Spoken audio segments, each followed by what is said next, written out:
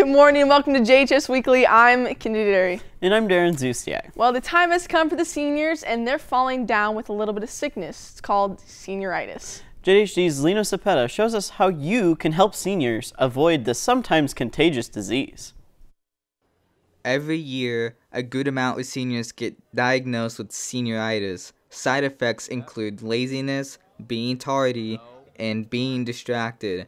McGuire Mai is a senior and has been showing all these symptoms. Even like when I wake up in the morning, I go, I can be late to school today, or um, especially like turning in assignments, like I could probably turn this in late even though I shouldn't. When I see like my grades drop or like I get too many tardies, and that's why I know like I need to do something about it. Senior principal Jacob Williams is very familiar with the illness.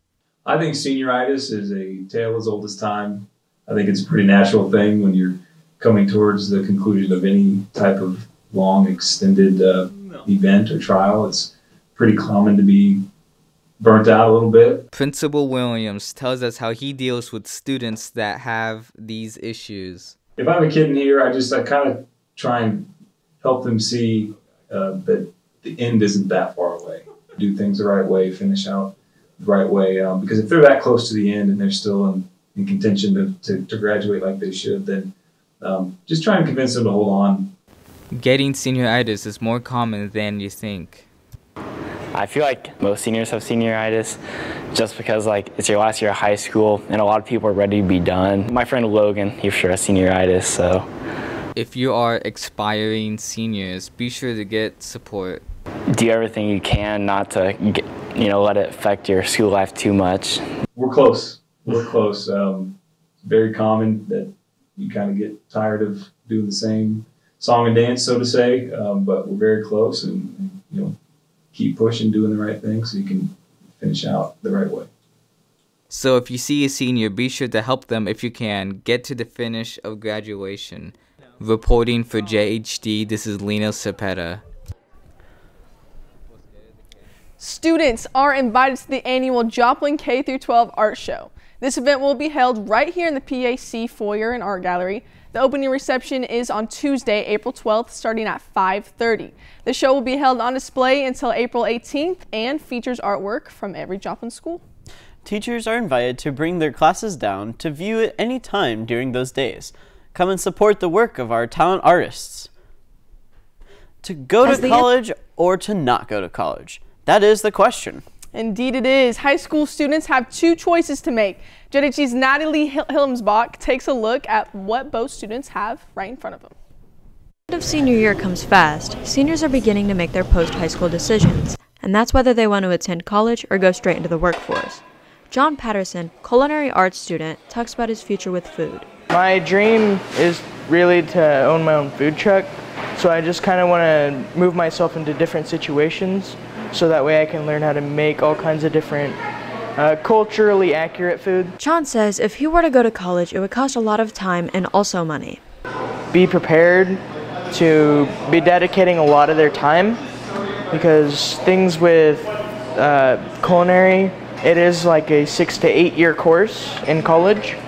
So when you do that and you do, if you dedicate all of your time to that, then you're looking at six years of nothing but school. On the other hand, future college student Darren Zustiak talks about the positives of going to college. If you don't go to college, you might have a lower chance of getting the job that you're wanting or getting something similar. Darren says going to film school will help him build contacts while in college. Uh, my major that I want to go into is either film or communications. And film I want to write, I want to learn how to write the stories. I want to learn how to film the stories. And the film classes have definitely helped me a lot.